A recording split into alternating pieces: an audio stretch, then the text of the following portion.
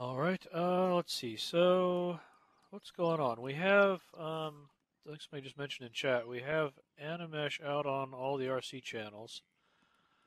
So that is still uh, still going well. We haven't run into any uh, issues on the server side so far. Um, there's not an RC viewer. We're still working on some um, some bugs on the viewer side. So I think uh, I think it's still going to be a bit more fiddling to get to an RC viewer, but uh, we're continuing to work on it.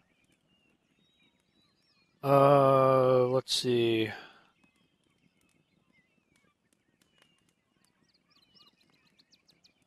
Yeah, Avastar's update help with Animesh bugs. Um, yeah, that is that should be a big help. The um, the change there is that the um, the orientation is going to be X forward by default, so that uh, it's it's not as easy to get into the situation where the uh, bind shape matrix is doing something squirrely that isn't being accounted for properly. Um, I'll, I'll, talk more about orientation issues later because I know it's a topic of perennial fascination, um, or at least something we can't escape. So, um, but let me let me run down the kind of overall situation first. Um, let's see. Uh, meetings. We will be off for a couple of weeks. Um, uh, next week I'll be out on vacation. The week after that we have an all hands company meeting that conflicts with it. So uh, we'll be we'll be back on the whatever that is, the 19th of July. Uh, let's see what else. Uh, Animesh issues. I got a got a ping from somebody about the Z offset issue. This is something where if you um, if you set uh, a vertical offset to your mesh at the time of upload, um, that was getting respected by avatars but not by animeshes, and that should be fixed now. So if anybody's been having issues with that, um, let me know if, if it's not working for you. Uh, we're thinking that that is uh, behaving correctly now. Uh, let's see, other projects. Uh, Bakes on Mesh um, has just been submitted to QA. Uh, uh, Anchor has a bunch of bug fixes in the pipeline, uh, including getting the uh, local updates to work correctly. So when you're editing your appearance, you should see the right things, even baked. So that's in QA now, and uh, if that all passes, then there will be no project viewer distant future. And let's see. Rider around. Rider, rider, no rider. Yes. Uh, Rider says that uh, we're getting close to a project viewer for EEP, so that'll be that'll be big news. Looking forward to uh, take a look at. Um, posted on that one. Um, let's see. I think that's it for general updates. Um, Oz, anything you want to uh, chat about this week? No, not really. Just came to hang out because I hadn't been here in a while. Uh, yeah, EEP uh, viewer should be close to uh, coming out. We should be having a an project viewer fairly soon. Yeah, it should be usable on Aditi in the next week or two, um, and on that is on all of Aditi, um, and then uh, another week or two after that, probably for Agni, assuming things go go well. Yeah, yeah. The the EEP stuff is um, you know requires simulator changes as well, so it's only going to work in certain regions initially. Kind of similar to uh, to Animesh in that respect. Uh, question about Bakes on Mesh headed for a project viewer. Does that mean you're not adding anything else to it? No, it doesn't. It's a, on Mesh is already a project viewer, so it's it's just going to be a, an updated project viewer with fixes for some of the bugs that aren't fixed now. Um, that it's, that's not saying anything definite about what the uh, final state of it's going to look like. Uh, let's see. Uh, LSL support for Bakes on Mesh. Yeah, nothing new there. The, the last batch of work has been basically bug fixes, um, getting UI to work correctly, display correctly, and so on. Not uh, not features.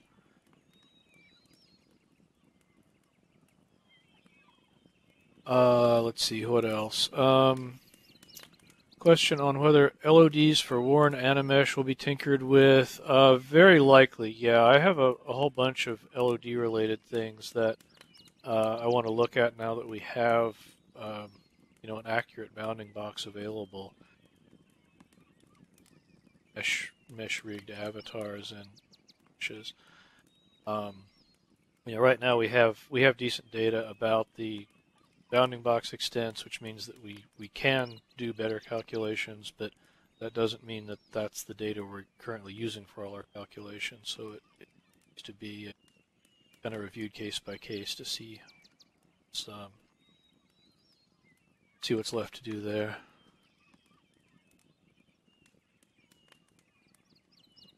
Uh, let's see. Is it possible to test EEP parcel wind light on the beta grid without EM rights. Uh, sorry, what are EM rights? The state manager. Um, okay. I think what we have to do to test anything that involves land ownership on Aditi is that we have to manually assign ownership of parcels. Um, ordinary land purchasing doesn't work right on Aditi. Um, well, that's something we should probably think about trying to fix, but that's out. We don't want to burden the project with that. So when we get to that point, um, we'll probably be able to create a, a, a set of parcels that we can that we can hand out.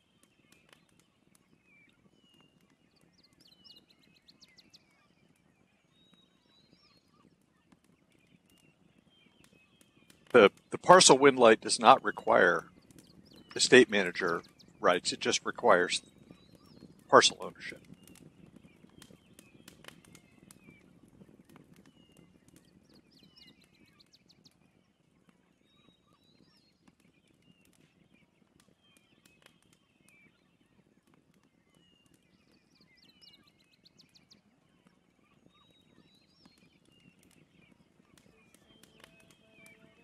Uh, there was the, a comment about the bounding box of attached animeshes. Um, that's that's correct. The math for that wasn't being done correctly, and I've got what I think is a fix for that um, in the pipeline now. So I think the next time the project viewer updates, you should see the the fixes for that.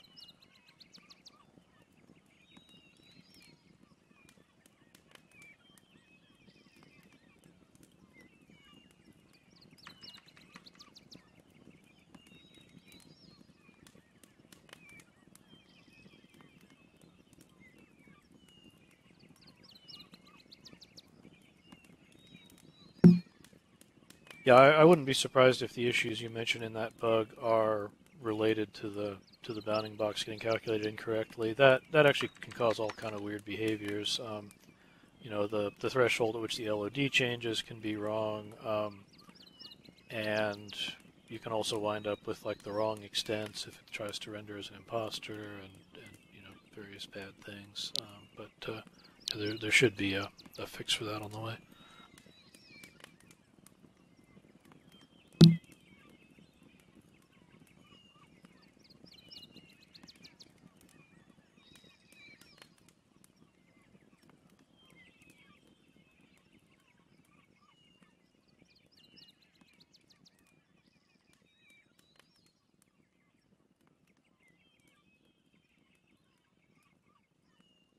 Well, I, I would say the end is in sight for the projects, but I wouldn't say that they're so close to uh, done that we're, you know, desperately casting about for things to do. Um, don't don't really have any comments on, on what's coming next at this point, but uh, yeah, looking forward to getting a chance to think about that once we get a few more uh, issues wrapped up.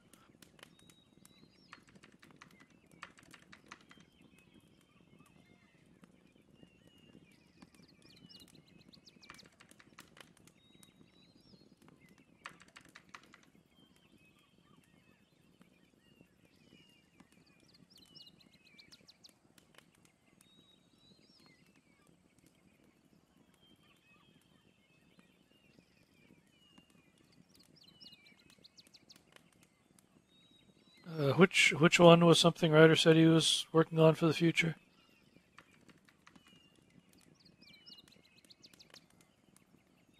Yeah, I thought there was work in progress on god rays in, in one of the repos. Oz, do you know what the story is on that? It's it's in there. It's in EEP. Yeah, it. Cool. Uh, in fact, I think I saw a commit go in just the other day that um, actually implemented the first version.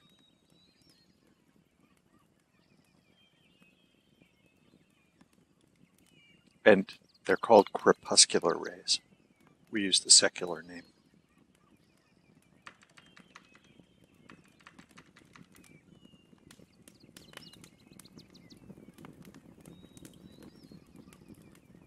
Is that like separation of shaders and state or something? Yeah, exactly.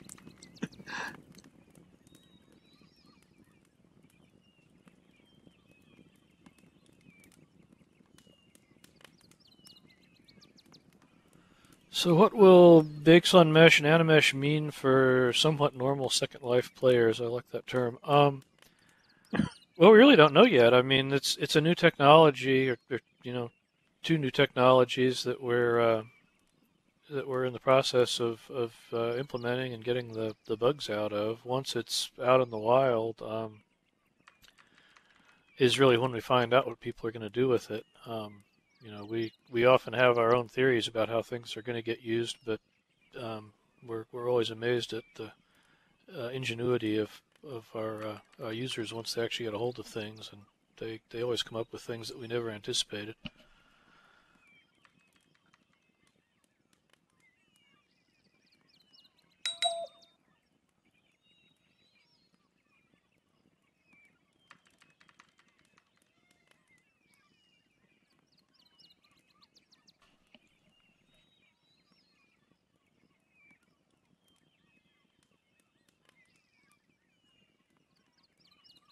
Right. I think uh, it just depends on people's creativity. Um, you know, particularly with with bakes on mesh, where there's a large existing um, there's a large existing content base out there already for uh, you know ways of, of creating and managing mesh avatars and applier systems and so on. Um, and you know, even for for bakes on mesh itself, it's not it's not definitely decided exactly what the final feature set is going to be. We have various requests that are still under consideration. So, you know, once once you get the final feature set, and then the uh, you know the people who have been doing content, uh, you know, using other other techniques for for many years, um, start picking it up and and seeing how they want to use it, then I think I think you're going to see. Um, I think you're going to see the emergence of, of various kind of standards for, uh, you know, managing avatars that are uh, that are mesh avatars that are, are baked based or, or partly baked based, and um, it, it'll be interesting to see how that shakes out. But uh, I certainly wouldn't venture to predict exactly what's going to happen at this point.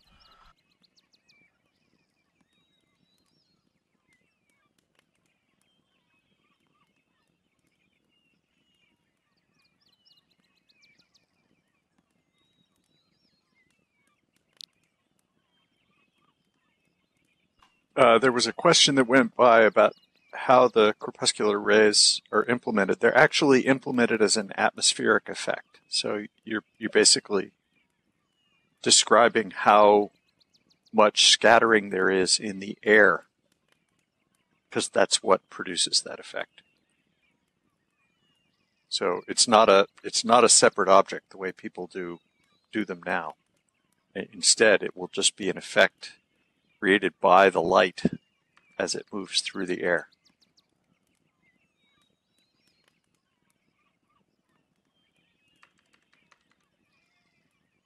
Which means it will always point in the right direction.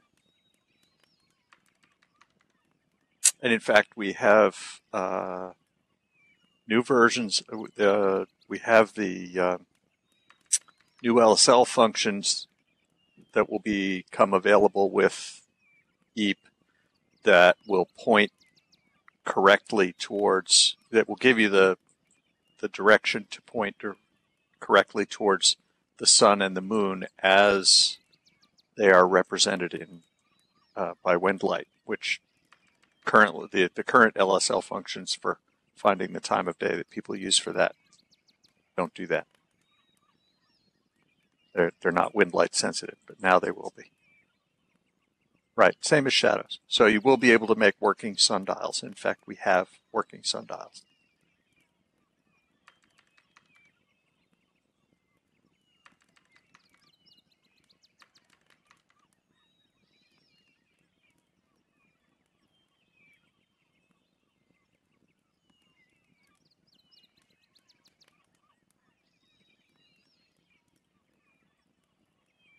Portable Stonehenge you can wear on your wrist.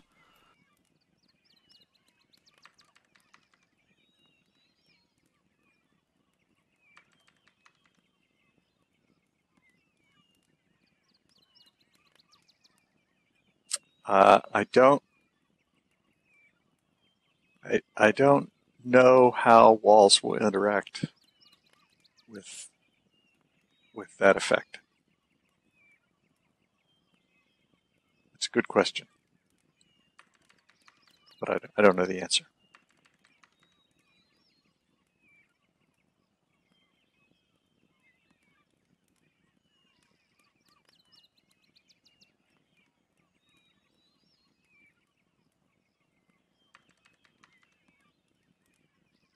No precipitation.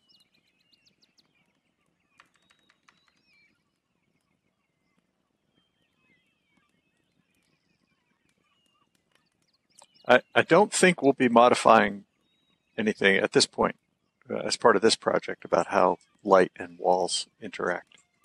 Uh, unless Graham is getting trickier than I am aware of.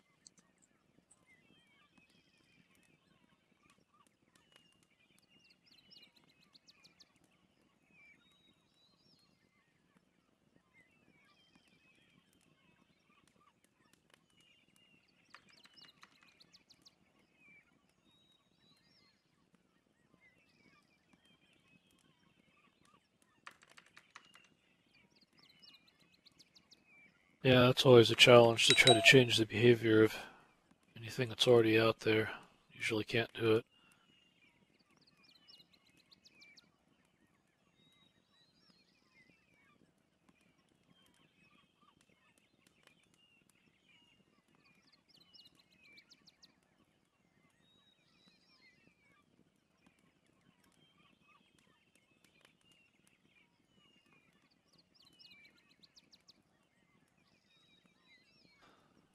Question about three new data points for LL particle system parameters. Um, Oz, I'm pretty sure we've discussed this before, um, probably when you were around. That that one's accepted and just looking for a, a home, isn't it?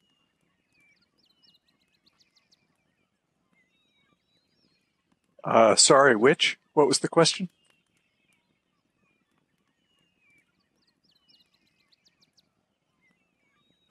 Uh, this is a question about bug 214757 linked above, which is the uh, extending, adding new parameters for particle systems.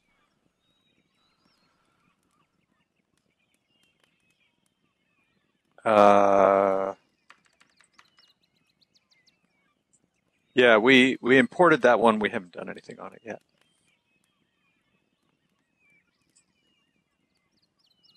Unfortunately, the supply of good ideas exceeds the supply of uh, development hours.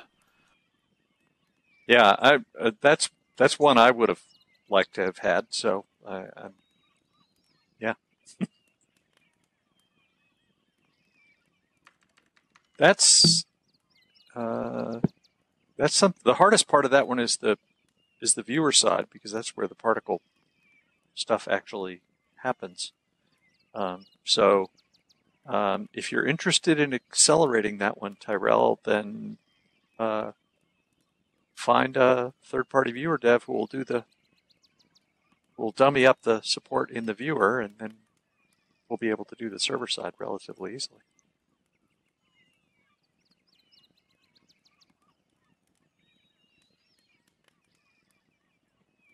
No, that's a good point. We're always happy to look at uh, open source contributions.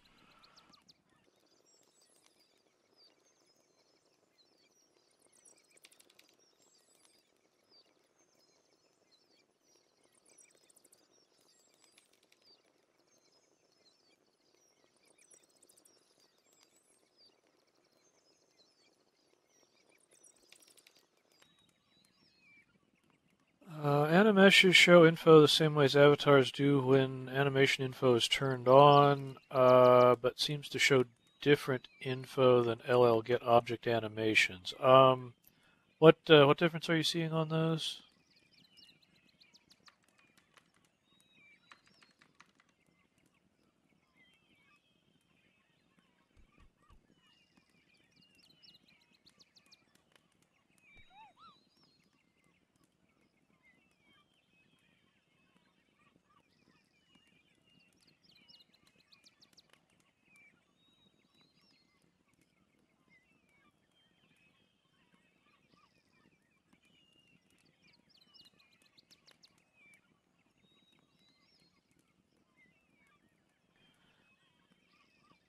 Uh, that that could be a bug, it could just be that the animation info text doesn't get updated super frequently. Um, I think sometimes you have to, you know, zoom in or out or do something else to, to trigger an update to the debug text. So it may just be it's lagging the state, um, or there there could be some other issue. But if if you want to um, post a Jira on that, we'd be happy to take a look at it.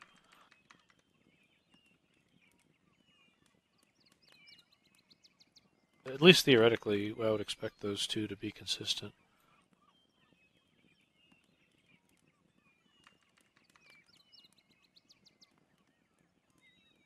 Great, thanks.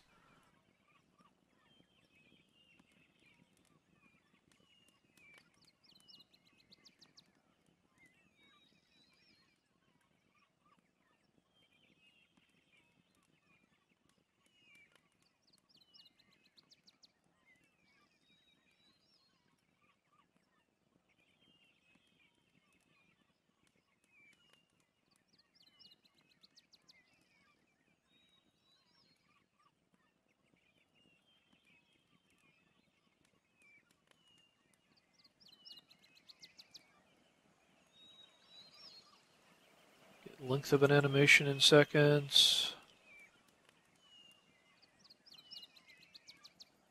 Yeah, that's what was that? that um, sorry, go ahead. Somebody else was talking. No, I'm just replying to what Vir said. What the heck is he talking about? Or, or Oz, I mean, what Oz said.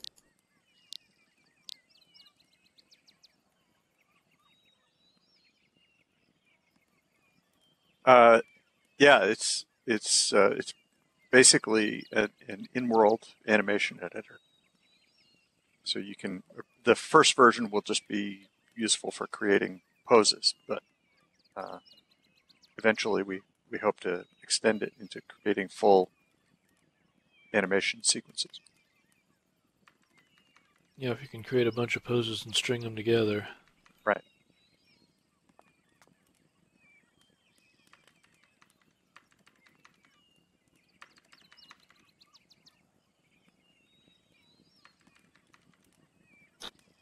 Uh, wouldn't stringing a bunch of poses all together instead of making one animation be a bit resource intensive? Uh, well, the idea that's- would be that the output would be an animation. Um, you know, you, you Okay. work with the with the poser and then ultimately generate a uh, an animation that can be uploaded. Okay. Okay.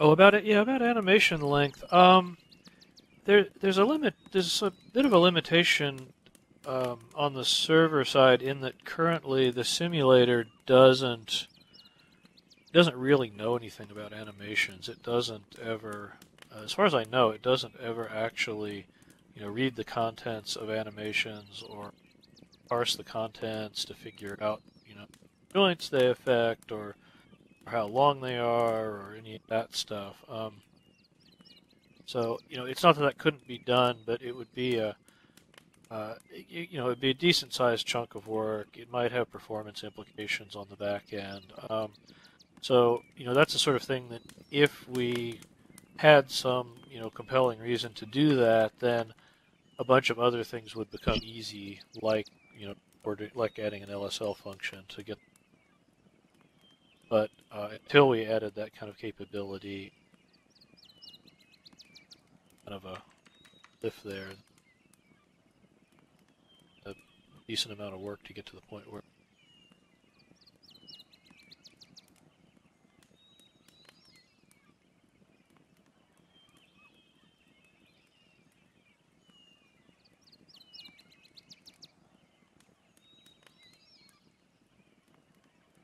You know, right now we do some we do some analysis of animations at upload time. Um, so there's there's some code that uh, you know looks at things when they're first uploaded, but you know when you're just when you're just requesting animations and saying you know hey run this particular thing, um, the simulator doesn't really know anything about the animation other than just its um, its inventory ID or its uh, its asset ID just passes that along to the viewer.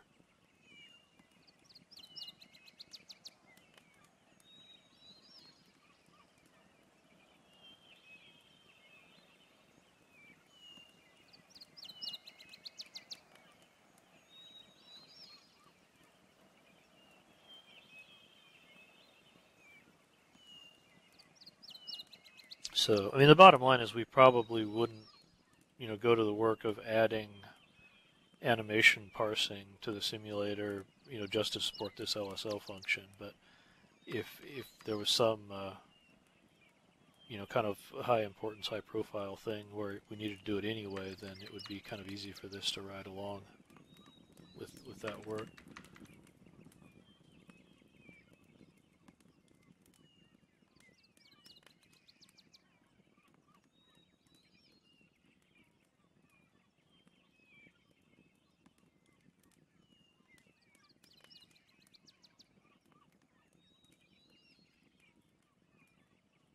Yeah, if there was a big animation overhaul going on for some other reason, for example.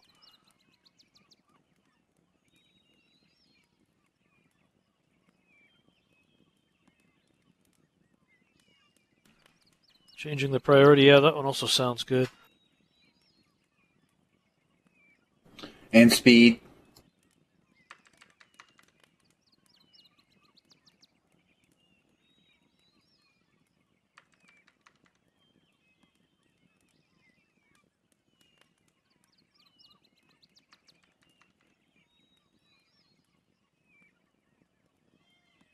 Uh, Vera, I was just talking to Gaia because I had a problem because the Second Life viewer is denying babies their pacifiers and bottles.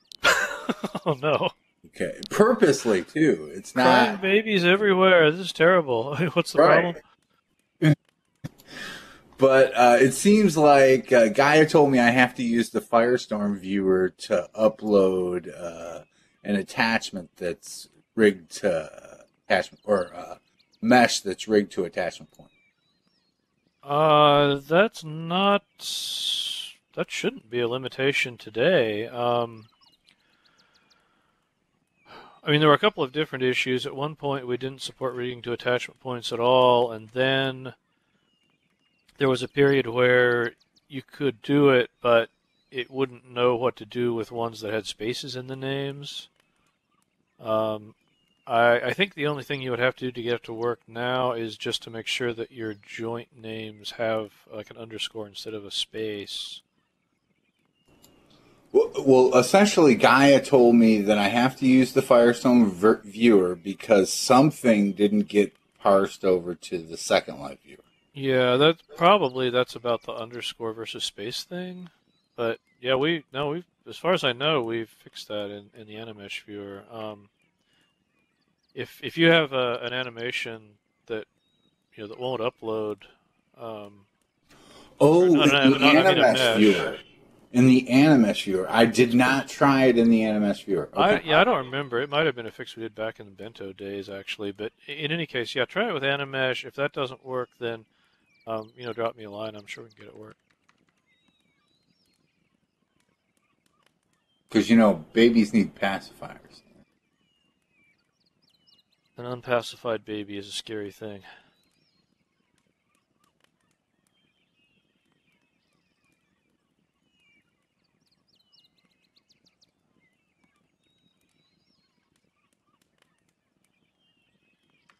Okay, Beck says the fix is probably already in uh, in Animesh.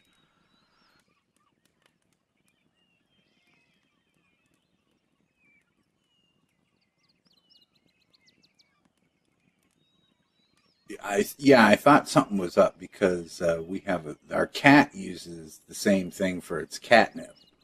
So and that seems to work, but I didn't know. Yeah, I must have not been using an Animesh viewer. Yeah, so we're not uh, we're definitely not trying to stop people from from rigging to attachments. Although, uh, of course, in the bento days, the hope was that if we've got all of those joints newly added, we don't have to rig to attachment points. Um, you know, my my personal feeling is that rigging to attachment points isn't ideal because um, you know it makes it hard to use the attachment points as an attachment point, but um, I guess if Animesh objects don't support attachments anyway, then uh, maybe it's not so much of an issue. Well, I, I completely agree with you. Uh, but in these particular cases, it's just way more handier to use the attachment point, and you know, I always know where it's going to be. Yeah. Okay. Well, yeah, it, it should definitely be possible to do that. So uh, yeah, give it a shot. Let me know.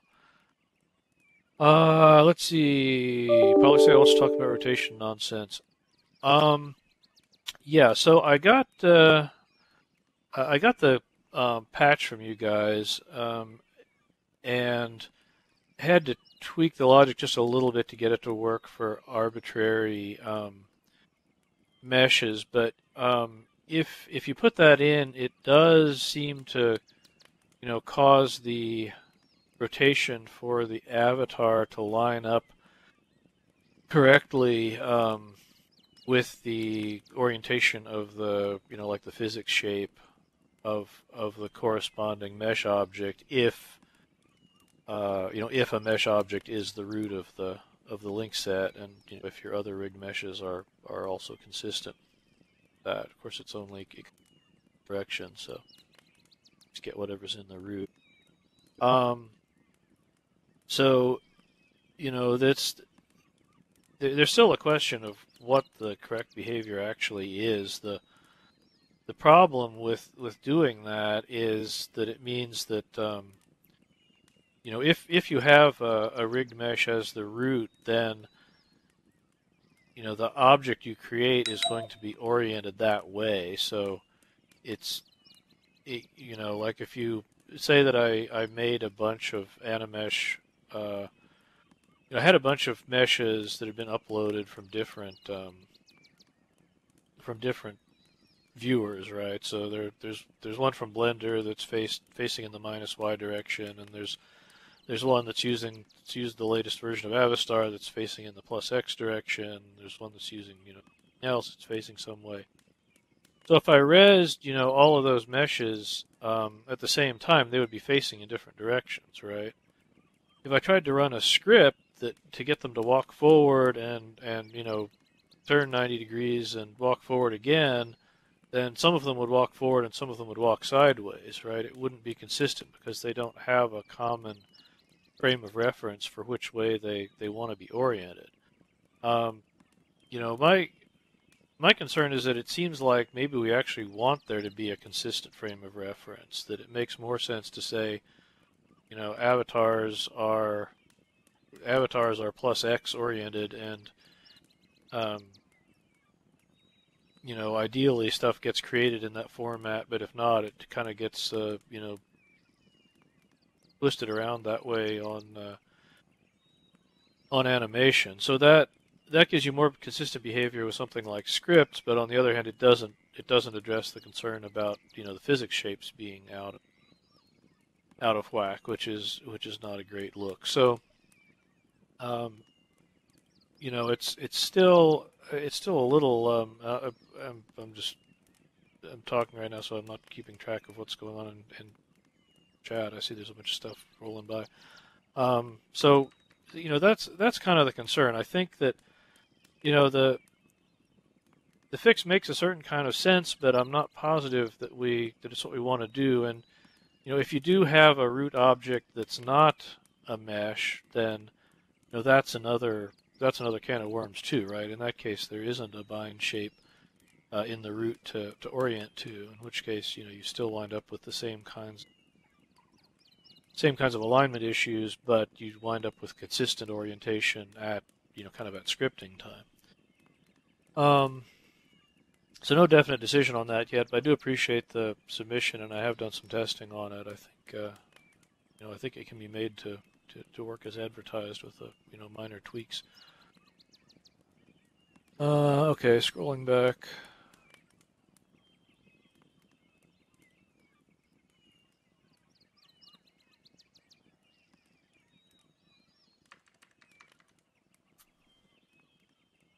You Notice how things are today, pre-Animesh. Um, yeah, I mean the the orientation issue for meshes has kind of always been hiding uh, away in a sense, but it wasn't very visible because you know the rig meshes were only displayed on existing avatars, and they were they were only ever non-physical. So, you know, if the physics was in the wrong place, you really couldn't tell. Um, and if the orientation was inconsistent with the way it showed on the avatar, then it didn't really matter because you never displayed it by itself anyway.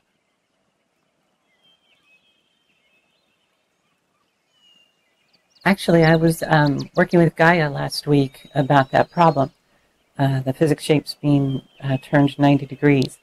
Um, that turns out to be a Blender issue, not a Maya. Maya uh, DAEs have no problem. Um, but DAEs created from Avastar do have that problem. And um, so Gaia is working on it right now to hopefully fix it in Avastar moving forward. But Aki had a great, because Aki was also was also, um, uh, you know, we were working, all three of us were working on it together. And Aki had a great idea of adding um, in the edit window that you could click on, say, an Animesh, and have an option of a little box that you can click because to turn the, the Animesh 90 degrees facing X um, uh, to fix uh, old DAEs that were uploaded previously. Um, um, and because uh, they are, they're all rotated the exact same way, 90 yeah. degrees, so, I think, so is in, in Z. Uh, so you mentioned that there's a fix. What what what level is that getting applied at? Is that during upload or like when you're editing the object after it's uh, after it's already rezzed? Oh, it would be after um, after it's um, uh, when you rez it. You know, you right mouse click on it and you click edit, and then you go into like probably like a features the features mm. tab that it would be where you if this is an animesh, you have a little check mark to turn it 90 degrees. In the negative 90 degrees, I believe it is in the Z axis. Um, that would be for anything that was uploaded before Gaia fixes fixes it. Um, uh, so it's definitely a Blender or Avastar issue. Maya does not have this problem. Okay, well, that's good to know. Uh, let's see. Beck has some comments about LL Lookat um, on pathfinding. Uh, documents the correct approach. Okay, I'll take a look at that.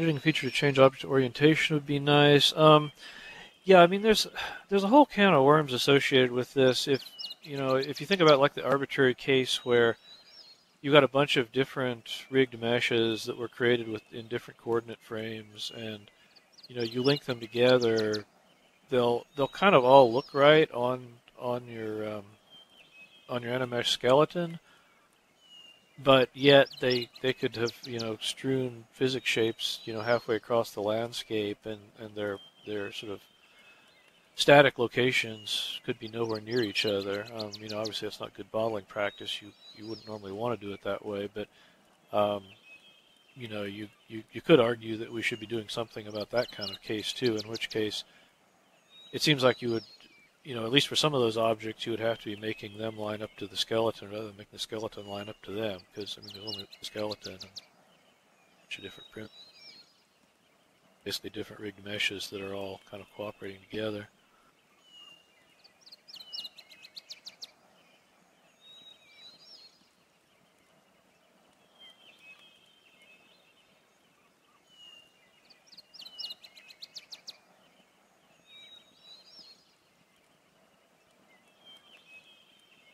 Can I respond to what Elizabeth is saying? Oh, sure. Okay. Uh, what Elizabeth is saying is she's saying that it depend in any program that can export out a DAE if the skeleton is facing not X and and the you know it exports out would have this issue.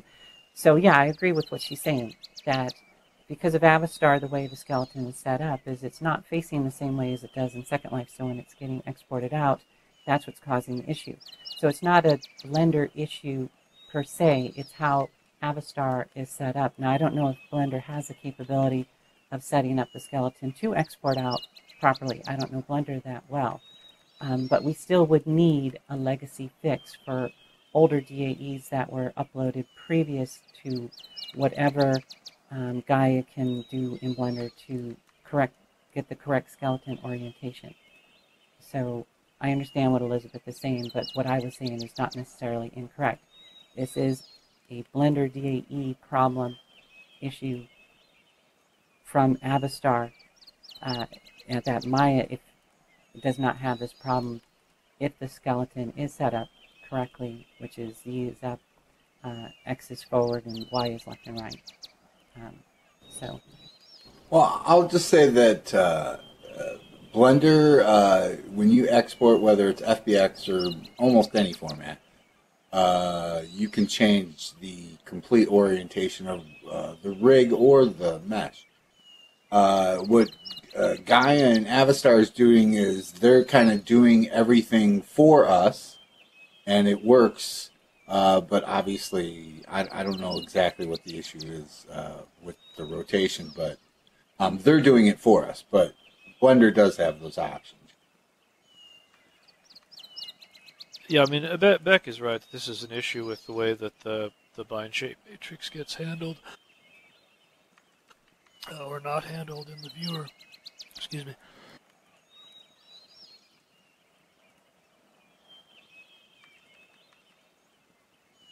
But uh, you know, given that we've historically had this limitation, the question is, you know, what's what's the right thing to do moving forward? Um, I think if, if future if future content, uh, you know, is is is normally set up in a in a plus x direction, so that the you know need to use the bind shape, then that's that's great. But there's still a lot of stuff out there that's that's kind of doing its thing in a different way, and we have to decide what the you know right way to approach that is.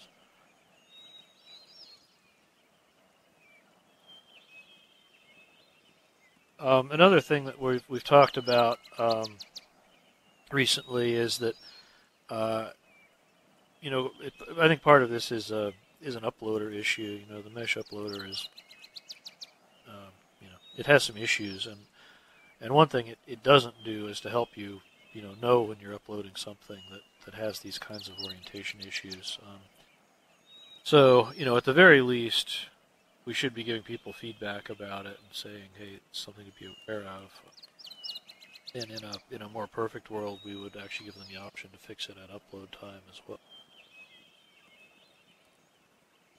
You can actually see the problem in the upload in the preview window. You know where you can sit, you can select the um, the physics shape or um, you know skin weights. If you pop back and forth between those two, you can actually see the avatar turn 90 degrees. If there's a problem, if there's no problem, the the in the, pre- the preview window, the, the mesh will stay facing the, the correct way. So you can actually see if there's an issue. Oh, that's a good point.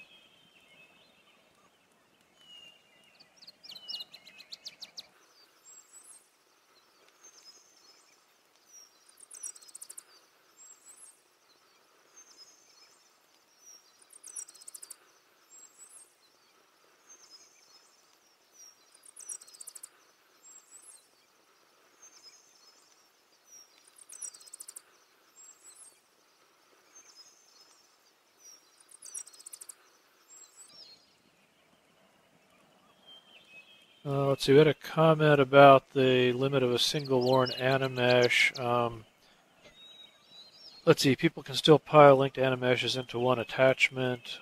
Uh, they can, but it's it's really different behaviors. If if you have um, if you have a bunch of different rigged meshes that are all part of the same animesh attachment, then they're all going to share a single skeleton, right? They're all gonna they're all gonna animate together, and they're all gonna have a common uh, common you know shape in the sense that if if the meshes you know cause any you know turn turn your avatar into a, a you know into a dog shape or something then or, or turn the animesh avatar into a dog shape or something then uh, basically all of those meshes are going to be shaped like a dog. Um, so uh, you know people can can do that but if if the effect they're shooting for is to have multiple independent skeletons, then uh, you know at least for now that would because you've got the single skeleton limit. Um, you know we will we will continue to assess limits. We've we've always tried to you know raise things when we thought we could afford it, but um, I think at least for the initial release we'll uh, we'll be going with the one one animesh attachment and see how things shake out.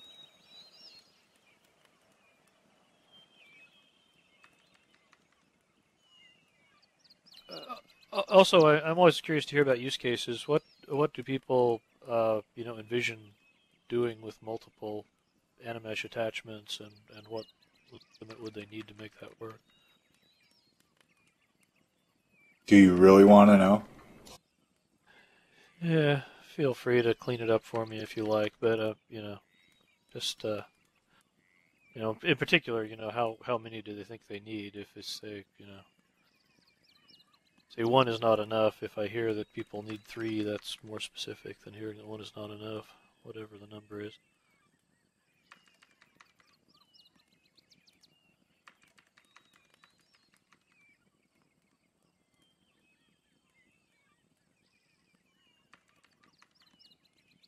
Well, of course, Zooby's wants you to be able to wear two babies. Um, but personally, I'm weary about giving people more than one.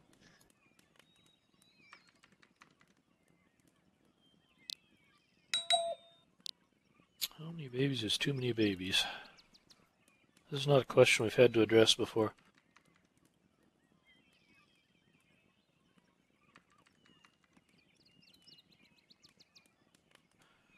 So and and yeah, why why is there a limit at all? It's a performance thing, you know. Having um,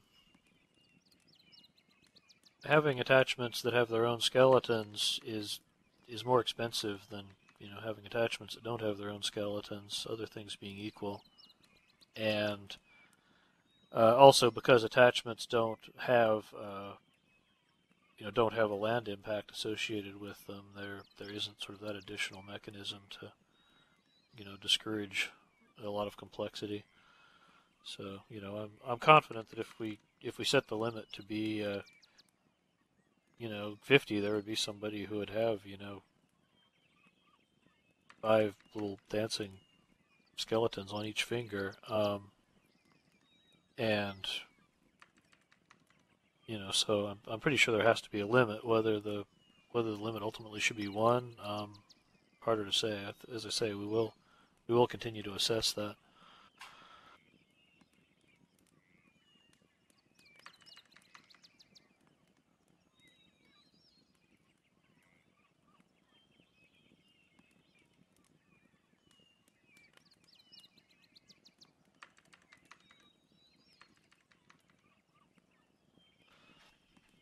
Yeah. Uh, well, I mean, you couldn't really have 10 different animeshes that use the use all those bones. You you you know you would um, you would have to make a single animesh. It, that, that is, you'd have to link together all of the uh, you know all of the rig meshes into one animesh object before you could set it as an attachment. Um, so I mean that would be subject to the usual limits of of animeshes in terms of uh, uh, you know triangle counts and that sort of thing. But um, you know would work as long as, as long as you're happy with the behavior that they share a common skeleton and and you can only use 110 bones, uh, not 150. Oh well, it's. I mean, it's. I think it's 110 per mesh, right? So you actually could, uh, you know, you could link together multiple rigged meshes that used um, that used different bones, and and the, you know, the combined combined critter could use, you know, 159 or whatever as long as no single mesh used more than 110.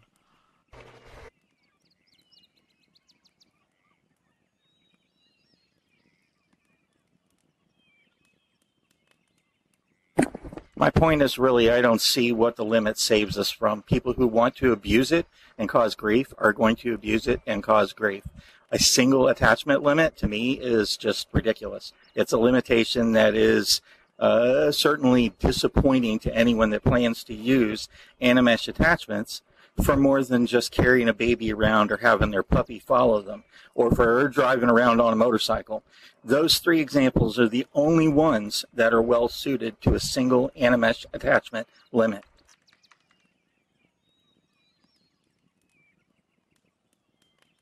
Uh, please give us more examples of something that would be great with multiple.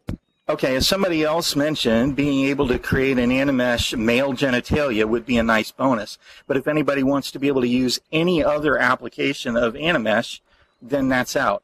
I'd like to be able to make uh, other animesh attachments. The, the truth of the matter is, is that while it seems that most of you feel we're well served by what's available on the bento skeleton, I get requests for the last, well, 10 years now for stuff that people would like to see regular attachments do, like wings and the bones that are in the wings will not do the kinds of things that people have been asking for for 10 years. So I'd like to be able to create my own wing mesh rig and create animesh wings.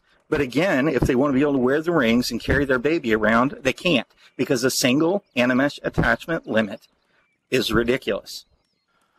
Okay, um, so I'm I'm curious about the, uh, you know, having sort of body parts uh, uh, you know, wings or genitalia or whatever, um, you know, why do those need to be animeshes as opposed to using, um, you know, the the skeleton of the uh, of the original avatar? What what issues do you run into there?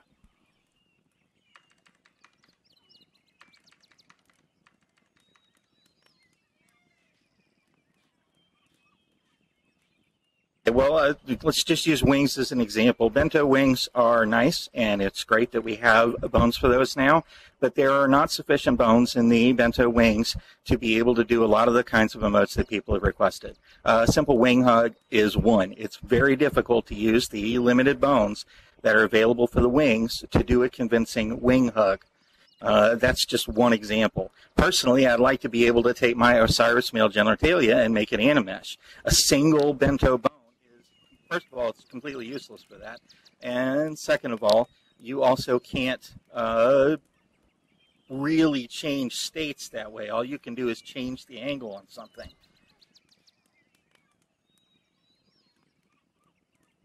Uh, I mean, I, I, know people have done, um, you know, modifications to the to the rig. It's it's more work, but if you uh, you know, if you're if you're willing to to munge around on the on the various bones in the skeleton, you can you can repurpose right. existing joints. You so. can, you certainly can, but you can't. Uh, what am I trying to say here? The, the bento isn't going to work for all of the applications, especially not if somebody is trying to use, um, you know, two different types of creations that borrow bones from two different creators. You mm. could wind up with all kinds of headaches there. Uh, but more to the point, um, you know, I don't get this single animesh limit because it's not really saving us anything. I mean, Well, in let- animesh, let me- another bento skeleton to work with, so I can reorganize those however I want, and that's great. But you know, then you're going to limit it to one attachment per avatar, so that means that the end user winds up having to pick the single animesh attachment that they want to wear, and they can't wear any other one at the same time. They couldn't even, for example, uh, you know, ride around in their vehicle with their pet if they're both animesh. let, let me let me just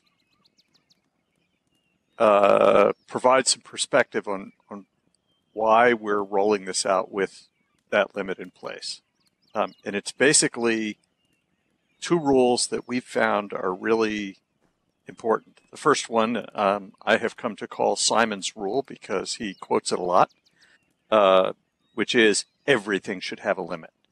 We have we have long since found that anything we put into Second Life, any feature of Second Life that we implement that does not have a limit, somebody finds a way to abuse it uh, such that it damages the experience of everyone else. Um, so everything has to have a limit. I have no argument second- with that. I the- just think the a limit second- one is too little. Right. The second rule is it's much easier to raise limits than it is to lower them. We have successfully lowered some limits that were problems before, but we always end up damaging something if we do that. And that's a scary don't get me thing that we try to avoid. So, I am completely on board with the idea of launching with only one limit if it is, there's going to be serious consideration to raising it later. The problem that I'm having right here in this moment that's really aggravating me is there are people in the community sitting right here in these chairs that are saying that what I'm asking for is ridiculous. And to me, that is because they just don't care about the applications that I'm talking about. Just like they don't care if Binds on, if uh, Bakes on Mesh launches without applier support, because they don't understand the impact that it's going to have on the applier market. There is a very narrow-minded tunnel vision view here that I am getting very frustrated with seeing repeated. I get it if you don't care about this or you don't care about that. I just don't think that it benefits any of us to come in here and limit beyond reason the potential imagination of the Second Life creator and user. Now, as far as right now, sure, sure, I agree. That's fine, Tier, and that's fine, Elizabeth. But some of you people pop off with, like, you know, there's limits for a reason, and, you know, why would you want to do that and do that a different way instead? And, you know, that I didn't come here prepared to have a full fledged debate on whether or not there should ever be uh, multiple animesh attachments. Uh, or trust me, I could cite probably a hundred different examples of stuff that my customers have requested over the last decade. All I'm saying, and the only reason I keep bringing it up, is I want to make sure that the Lindens are aware that at least within my market, there is an interest in seeing more than one animesh attachment able to be worn in the long term. And Yeah. now I'll shut No, up. we're we're definitely aware of that, and and you know we do take the the fact that there are different use cases seriously. We don't assume that, that everyone is trying to use the features in the same way. Um, so yeah, I, I think our, our interest is in is in going slowly enough that we don't create a problem we'll then have to try and walk back. And uh, y- you know, we're always looking for ways. I mean, the history of of this user group is uh, is a history of our finding ways to extend and add to what was what was not there before. Um, and we're going to try to keep doing that, but we just want to make sure that we don't go faster than uh, our technology and our ability to to manage it um, is is capable of. That's cool, and I appreciate what's being done now. I'm actually very excited about all of the stuff that you guys are bringing to Second Life that's new. What I'm not excited about is seeing Elizabeth go, that's ridiculous, and comparing it to people in a 4 million triangle it meshes. It's not the same thing at all, and that argument is completely useless. we should uh, we should probably wrap it up for today. We're a little past time. Um, so uh, back uh, at Polysale, I know we we didn't resolve all the questions about orientation and positioning. Um, and you know, we we are actively looking into it, and I think we'll probably be having some continuing discussions on this through other channels. Um, since we're not going to have meetings for the next couple of weeks, um, but uh, uh, anyway, we'll uh, you know we'll continue to look into that and uh, see what seems to make sense. Um, but uh, yeah, anyway, looking uh, looking forward to seeing what uh, people can do with this once we can get it out onto the full grid and, and into release, and uh, we'll keep pushing that direction. Right, Thanks. thanks all. Thanks, you- Fear. Thanks, Vir. Um, if I may, Galathir, I, I think you're mistaken in your understanding that we're telling you you can't just because we're not interested in the things that you're wanting to do. I actually fully expect that there will be animesh wings because in the bento process, I personally fought for more wings in the wing bones, but in order to get a truly realistic feather wing fold, you need to have a bone for every single feather of the wing, and that's just not a practical thing to add that many bones to the avatar, you know? But now with Animesh, it can be a practical thing because now you can literally double the number of bones on the avatar and put that all into really cool, complicated, detailed feather wings if you want to. And it's really cool that we have that ability. But to do that for every little part of the avatar, like for instance, I'm not asking for every little it's- part. though. I'm I'm let let me let me talk, please. Um, for instance, you were saying for genitalia, um, to to take 159 bones and stick it down there. Who's You've talking about really in 159 like bones? three or four. I, I'm But not talking see, about that's 159 every bones. Single, every single animesh though does add 159 bones. That's what we're trying to explain to you.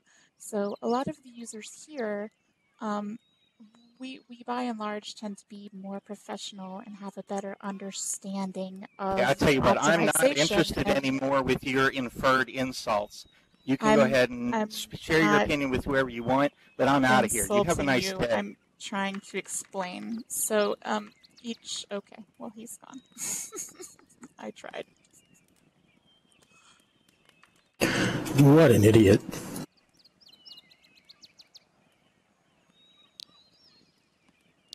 I was gonna tell him he, you could use the hind bones work pretty well with the Well, I was going to mention that most creators have used tail and have used hind bones to get around that. Um, and that we are trying to steer the grid into a direction. Because if you let people get away with something, they will get away with it, and they will they will cause problems. That's why we have so much lag. That's why Second Life is so resource intensive because most of the users simply don't understand those things. Uh, you know, they they just they the only, pretty uh, and they want pretty. Um, The, the crazy part of you know, I I feel for him, okay, but the crazy part of what he's saying is in the last couple years we've went from like thirty some bones to 150 to now 300 and some bones we can have on our rig.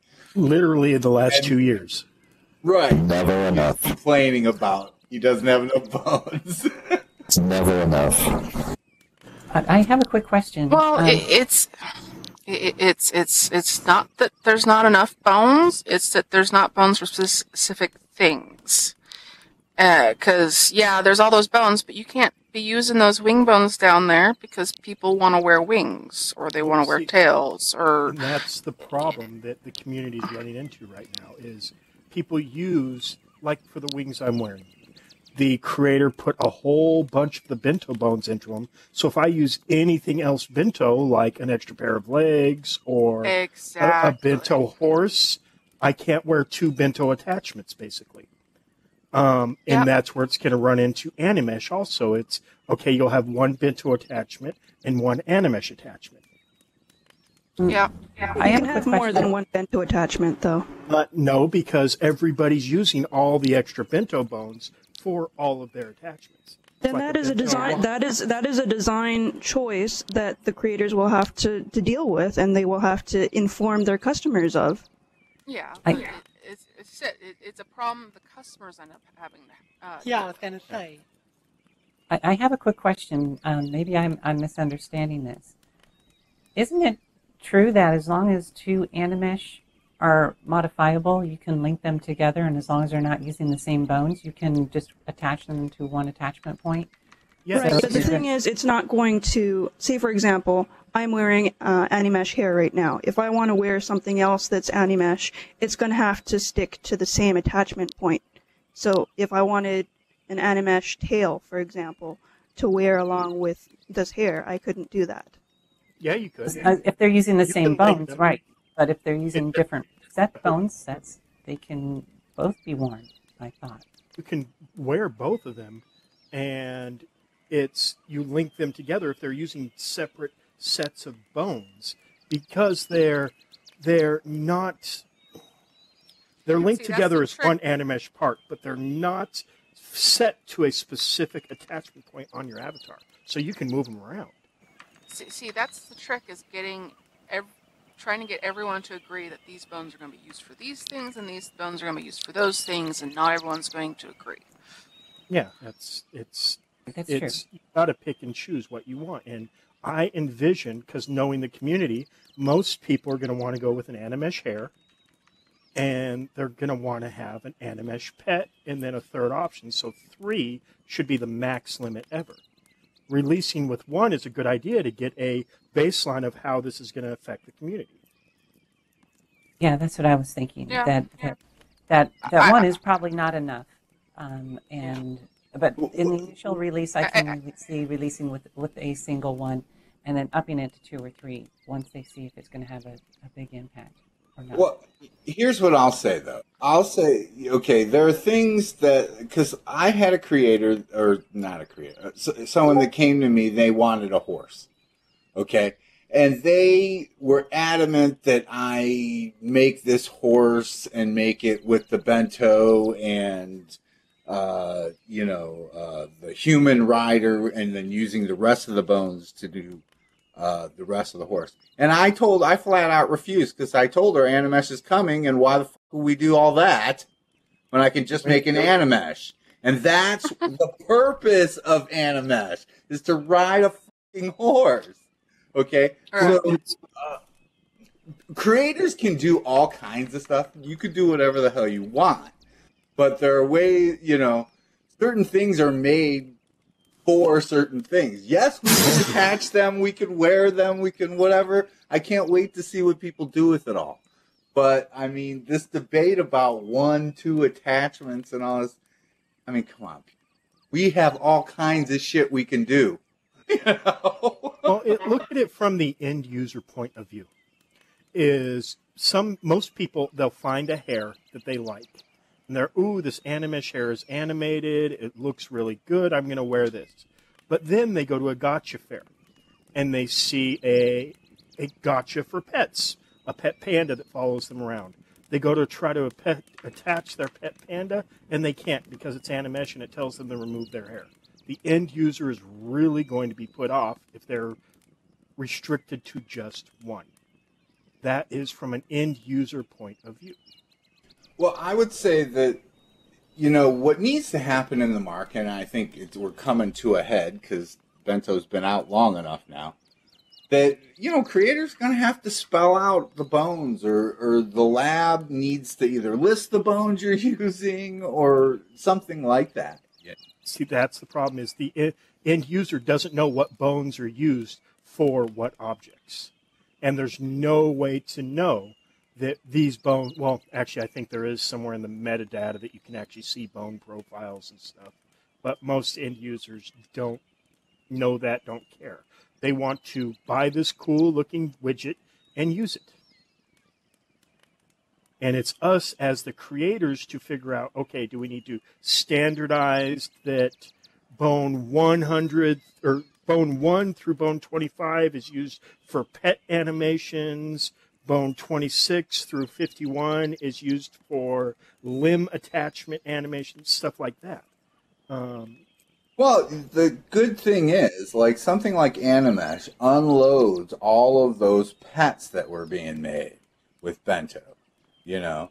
So it unloads all of that. So now you have less confusion in those areas, less confusion in the horse market. You except for those old products aren't going to go away. There's there's going to be more confusion because there's going to be more options.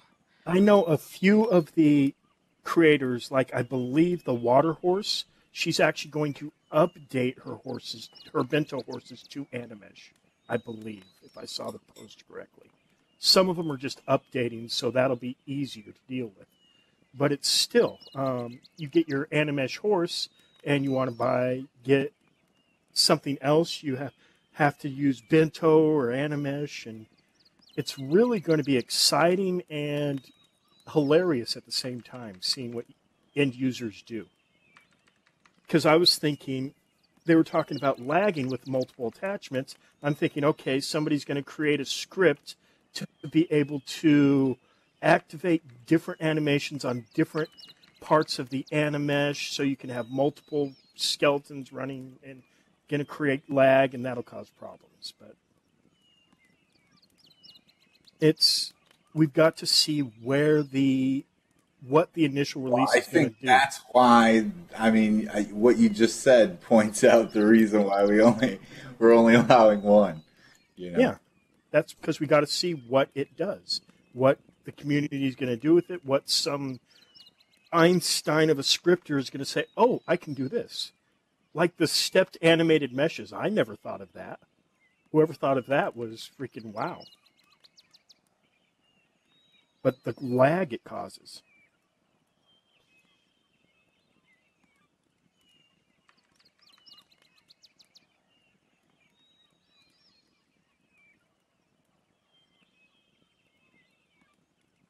One thing I do think. Oh, go ahead, Matthew. No, no, no. Go ahead.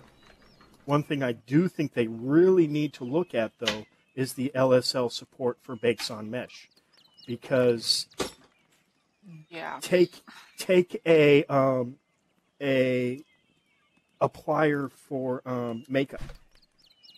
A, a uh, makeup HUD can have up to sixty different makeup combinations and eyes and lips and are you really going to say okay here user have this folder of 60 different applied layers that you get a click through one at a time instead of just using your HUD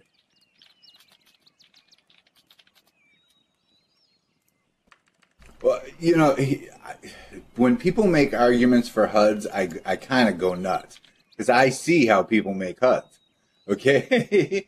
and uh, so I would want to get away from like any kind of HUD thing into something that the lab supply. You know, Well, if the lab is willing to supply something, that would be great. I, I know I would love to be able to make an overlay that actually looks like it goes with the viewer as opposed to these HUDs, but that's just not an option at the moment.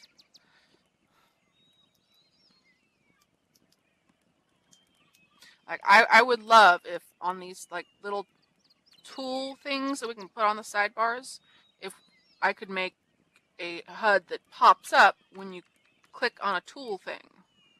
That would be great. It's nice and unobtrusive and can be moved wherever the user wants it to be.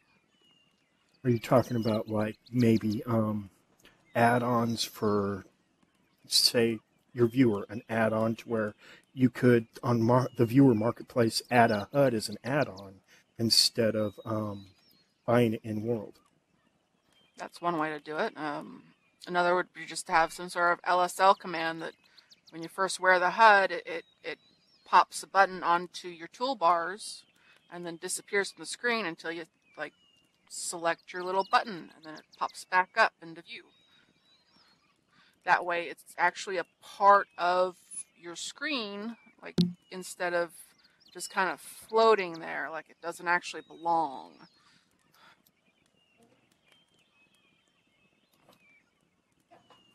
So I guess it's still floating there, but it's like you, you've noticed all the HUD makers have started making things shrink down and try to make them less obtrusive.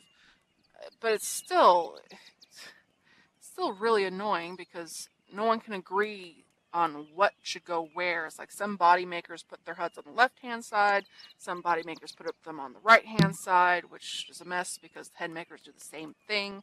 And so, depending on what combination of things you wear, you might have your body and your head HUDs overlapping, and there's nothing you can do to like move them because of the way they do the rotations. It, it would look really weird. I keep most Yeah. of my heads off screen and just bring them on screen when I need them. Yeah, see, Right. see, that's that's something people do, but they shouldn't really need to. If we could make them a tool button like all the other tool buttons we have, uh, it, it would integrate much more nicely and customer intuitively. So, yeah, and, and also, also uh, the scripts don't need to run when they're off screen. So, You know, besides uh, the script impacts of HUDs and, and all that, uh, really the scripts biggest don't run when they're in their inventory, so they don't need to run. If they add what I'm suggesting, they don't need to run when they're not visible. Well, the the other part about HUDs is, you know, analyze just about any HUD out there, um, and you will see something that is occupying, you know, gigabytes of texture space uh, because of all the every box, every button is a new texture. I, I don't know about gigabytes, but yeah, there's some pretty bad HUDs out there. I, I've I've had to talk to a few people. so I mean, I'm Yeah, all for letting I- I've people be creative, but we, I mean, come on. yeah, I, when you're I, I, I, I almost destroying your whole But- but- experience. you know? But, but My that, dragon that's HUDs something. are extensive and really, really bad. So I know what you mean by but bad HUDs. But yeah, that, that's something that can be fixed with just like a tutorial video on how to make a, a HUD that doesn't suck. um, Then you'll just get people saying, "Oh, well, I don't like you telling me what to do." yeah, well, then their their HUDs can continue to suck. Uh, Well, it's like what I was thinking is Firestorm has the animation override that they released years ago. What if they had a um, something like that, but you could throw your texture HUDs into? So it's you had a button for texture override or whatever. Um, and it just and it just worked for the system layers. well, Oh, I. I don't I don't know I don't know how useful that would be for system layers just because of how much clothing people have. I mean, lots, yeah, but like uh, a mesh head HUD or a um, body HUD, those are the sorts of things you kind of want to be easy access and get to. But like, what color your jeans are, that that you might wear a different pair of jeans every day. I don't know if you need all of those on your bars. No, but no, because the um, baked on mesh, we're just talking about avatar layers. Baked on mesh at this point doesn't cover your jeans and your your hair, and I mean, people are probably Mine does. coming some interesting uses could. for the It, it, for the it hair covers your and for the. jeans. Uh, Well, I'm if talking it's about if it's texture avatar layers here. clothing layer, yeah. I'm, Yeah.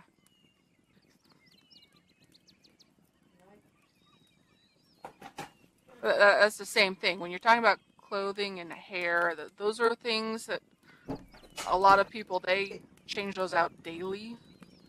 Um, they're not wearing. It's not like a mesh body or a mesh head that you're wearing all the time, and that you want to tweak the settings on that constantly.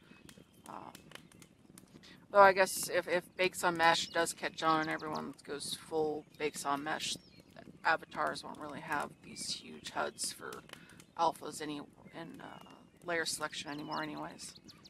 mm-mm. That's why they need But- to add the LSL support for bakes on mesh. Yeah, that, that, that that's true too. Because honestly, a lot of mesh makers are saying they're, they're going to go full bakes on mesh, whether or not there's LSL for it or not. And some are just full on, uh, will not go bakes on mesh without it. Like, they want to see the LSL, they need alphas to work, they need the materials to work, they need all of it to work before they'll even think about switching. So, uh, that, that's my big concern is if we don't get the LSL, not everyone's going to, to switch. And we're going to be hitting this huge market of uh, haves and haves nots, and it's going to become a big, forgive my language, clusterfuck for anyone trying to shop for their mesh because they're not going to know Oh, what's it- going to work for them. It was the same thing when mesh bodies came out because there was a huge clusterfuck because people had their old appliers for all their clothes and everything. Yep. And, and it gets worked out. It's Bakes on Mesh is a good I know because I'm the one who had to work that out. so, uh, that, that that's why Omega pliers like now happen. And at least at least now it's it's either appliers or there's not appliers. But uh, which is pretty simple. It's if you got mesh, you use appliers. If you don't have mesh, you don't use appliers. But now with the bakes on mesh, if we're not able to keep using the appliers on some versions of the mesh, there's now going to be a whole lot more uh, fine. Uh, what's the word? when I what I actually see probably happening initially is the body makers and the head makers will release a bakes on mesh body with maybe one or two extra layers that can be used with appliers. Instead of the multiple multiple onions as it is, it'll be a reduced onion. So it'll be Some of them are bar. saying that, but again, not all of them are saying the same thing. That's that's ultimately the problem is that they're not all going in the same direction. And the So thing is, the the ones that are going to do that are going to be the ones that survive. The ones that refuse to update will die out. That's the way it goes. Well, I, I don't know about the refuse to update because honestly, you can already get bakes on mesh onto a mesh whether or not they do anything at all, thanks to pliers. Uh, Oh, the only yeah. hiccup, the only hiccup is that uh, because most of the meshes set their skins to alpha mode none. Uh, if they're not mod, then alphas aren't going to work. You'll, you'll just see a big blank area. Um, but then they have alpha cuts in there already, so that's not a huge deal. Oh, I hate alpha cuts on my mesh body. I would oh, lose a J. everyone does, which is why we're all super excited for Bakes on Mesh and we want it to work. But I don't think it's going to unless they add the LSL. Oh, it'll work. It'll just be Not It- everyone. It doesn't work unless everyone adopts it. So, well. It's it's you get the um, it'll work perfectly. It's just you'll get the people that say, "Oh, I don't want to spend the time to make clothing layers out of my pants." Um, and it's there's some people that still release clothing layers with their mesh pants. well, it's it's clothing layers with a plier. It's- Well, yeah, appliers. You- There's you- you people don't- that already do it. Yeah. Yeah. Yeah, But a lot of people, people that- they, they, they still support that old non-mesh market. Um, and that- it's that make number it and- and- easy. until this this this um, announcement of Bakes on Mesh, that number was shrinking. Um, just because appliers are so much more convenient to make than clothing layers. Even even bad applier systems are better than making Yeah. system layers. That's that's going to be the problem. Is the 250 plus clo- It's the makeup is where I see the huge problem with it. All right. Pants, pants, you may have 10 colors. Um, shirts, you may have 10 colors. But makeup, oh gods, women in their makeup, you could get a million in a HUD. It's just, it's Yeah.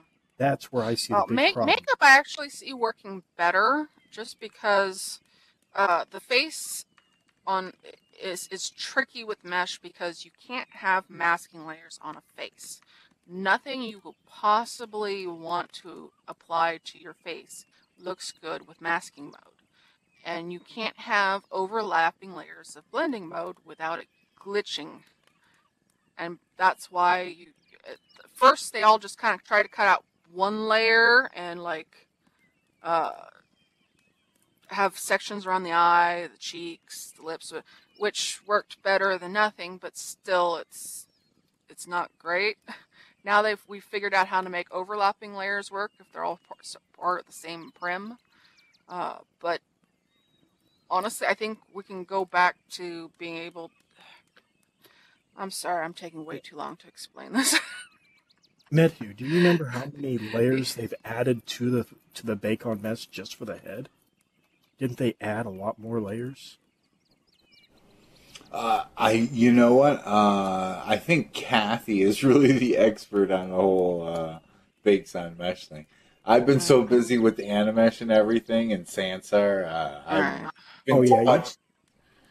That's why Yeah. I have to concede to all of you. Really, I mean, I can only think conceptually about it. Really, but but yeah, really, we I got think we didn't actually get any more for the head. Um, we got three auxiliary bakes channels or whatever, but they can be used anywhere. I mean, and they Yeah, don't mask out any part of the, the default system avatar, so they Well, could the- be the- used for just about anything. And Yeah, they well, the big separated the, right the- and left arm finally, didn't they? Uh, no, not from the system avatar, but no, that's what they were envisioning that these new auxiliaries would be used for. Would be for uh, the left and right arm and left and right foot. Um, I thought they, could also did. I thought they also anything. added. I thought they also added left and right foot, in addition to the auxiliaries. I think that's what they were calling them, but there, there's, there's like anything, you can use the auxiliaries anywhere you really want to. So if you wanted to, No, to use an auxiliary for breasts, you could use them for mesh breasts that replace the system avatar breasts, um, if you really wanted to. No, I, I mean, I, I think I, I saw them add tech like textures both for left foot, right foot, and for auxiliary. Like, Might be texture slots for, yeah, there's texture slots for left and right, I, I believe. But those texture slots are just placeholders, and you can do, like I said, you can, you can set a mesh to whatever you want, whatever.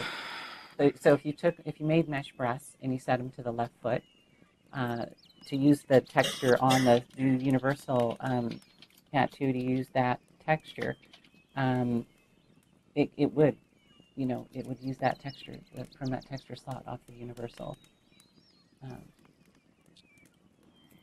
I, I, I know they're still looking. I'm hoping they're still looking into my idea that I had for being able to set different channels for the for the auxiliary um, uh, bakes channels. yeah, that. I think that's going to happen in the first round. Yeah, I don't think that's going to happen in the first round either. Um, although it'd be nice just because we could totally hijack that to get materials working. Um, Right, because then you could set any texture you want to any channel, and it wouldn't. I- Well, Mhm. within you know within one in a million or whatever, and the chances of any two meshes using the same channel for that same particular texture would be pretty minimal. Oh, yeah. It'd, be, it'd be pretty easy for someone to come out with a chart like we're going to use channel one for uh, upper materials, we're going to use channel two for upper normal maps, and blah blah blah, and all the way down the line. So. Right, right, right. Yeah, some you know sort of like um, the the five standard sizes sort of developed after a while. Um, uh, if if if a common usage uh, thing to give it let people yeah between three hundred thousand and fifty two and three thousand fifty something is for penises. Yeah, it's whatever you know, whatever you want it. I, I- I don't think we need more than one channel for, well, maybe two, you know, for any particular thing, unless someone's going to wear more than one. But uh, Oh, that's just no, no. We we can drop the.